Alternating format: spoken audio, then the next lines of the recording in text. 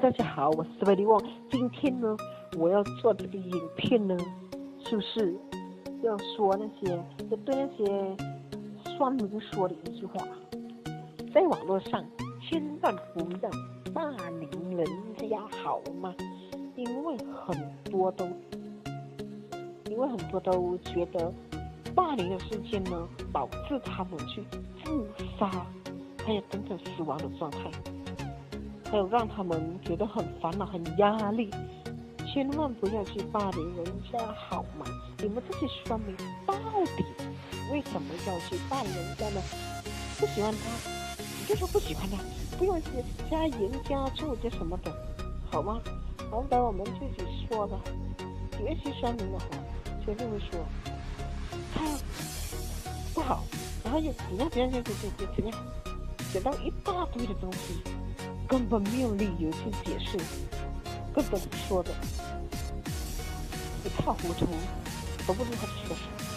然后那个被说的人呢，就受到攻击，然后就忍不住，就很压力。如果很开放的人呢，就能够接受；如果一些不开放的，大多数呢，人呢是不开放的，啊，很少的是开放的哈。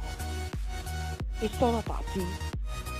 就觉得很压力了，就想要自杀，还是等等之类怎样啊？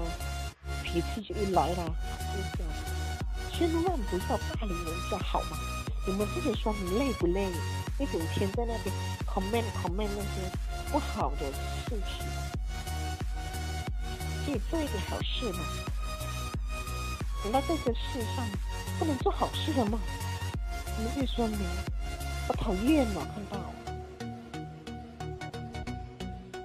然后呢，我要在这里提醒大家，别忘记订阅我的频道，还有点赞，还有分享，希望我的影片能分享出去，OK？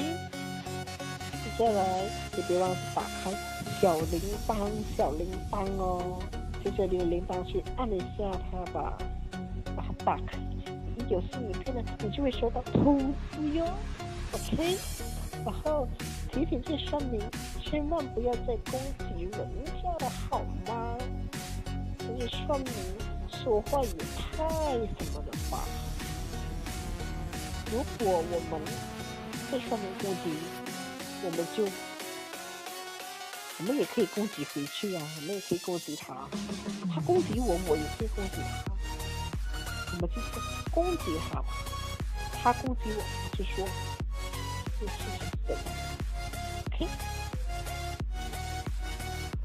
千万不要安静，千万不要受到压力，千万不要选择自杀。自杀呢，不一定能够开心，也不一定把事情过得很浪漫。我们要接受一下，他到底说的话是真的还是假的？如果是假的，我们压力来干嘛？对不对？好，今天的视频呢，就是说酸民，然后酸民的视频就到这里了好。今天我说酸民的视频就到这里了，别忘记点击订阅和转发，还有评论一下我这个影片怎样？说到怎么样怎么样怎么样，哪里不好啊？有哪里做的不对？可以。留言一下，让我知道。OK，别忘记打